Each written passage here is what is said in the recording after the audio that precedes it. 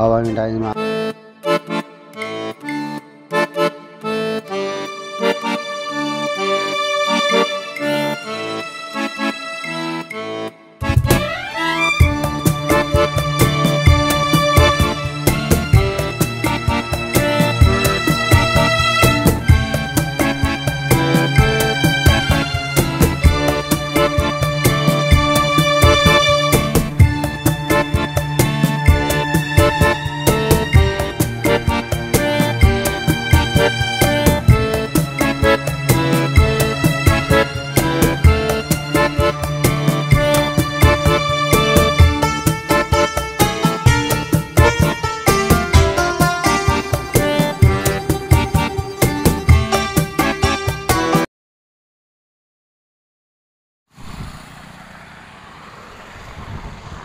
महाराष्ट्र में केंद्र शासन की ओर से जो हज़ारों किलोमीटर के रोड बने हैं वो रोड बनाते टाइम जो 50 से 200 साल तक के पुराने जो पेड़ थे वो पूरे काट दिए हैं।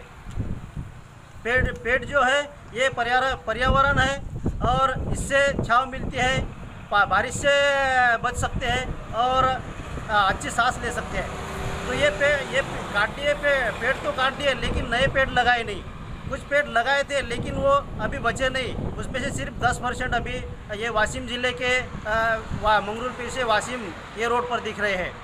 तो ऐसी परिस्थिति जो है महाराष्ट्र भर में, ये इसके तरफ़ केंद्र शासन के प्रधानमंत्री ने और रास्ता मंत्री नितिन जी गडकरी साहब ने इसकी ओर ध्यान देना चाहिए। वरना मैं यहाँ वासिम ज़िले के कलेक्टर ऑफ़िस के सामने आमरण अनशन करूँगा। और हरित लॉज में जाके इसके इस प्रशासन के खिलाफ मैं मांग करूँगा।